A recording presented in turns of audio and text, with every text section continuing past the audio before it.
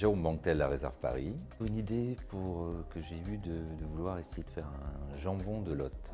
Donc de partir sur une, sur une lotte et puis de la, de la saler, de la fumer, mais vraiment 10 minutes et de la laisser sécher sur os au frigo euh, quelques jours.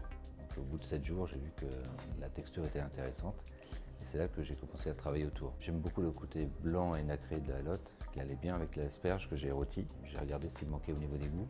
Je voulais ramener le côté fumé qui avait disparu, le fait de la, passer à la vapeur avait disparu, donc j'ai rajouté la sardine euh, fumée de Baïdessa.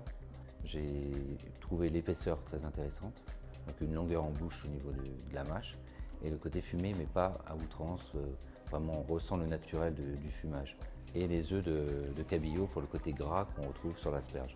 Le côté iodé des, des coques, et le tout avec un, un beurre monté à la sauce soja blanche.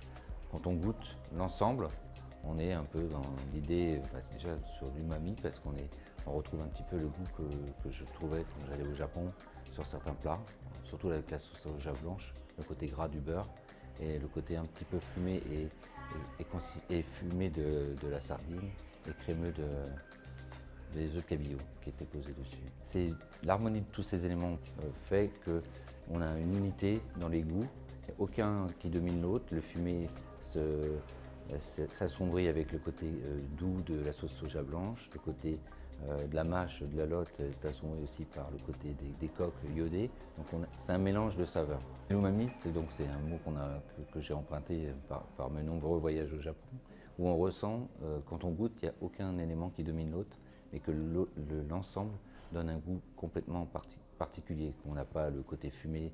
On ne retrouve pas une dominance d'un goût, c'est un peu l'ensemble.